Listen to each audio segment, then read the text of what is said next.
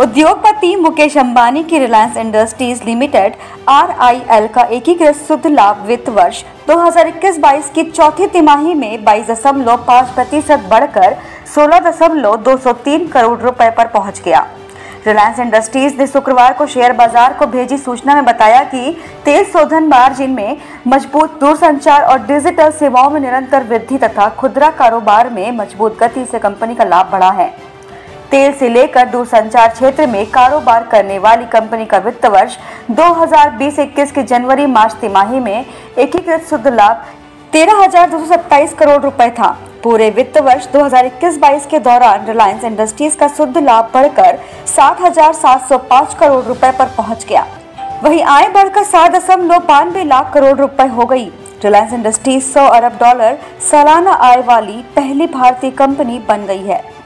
Bureau report IPN.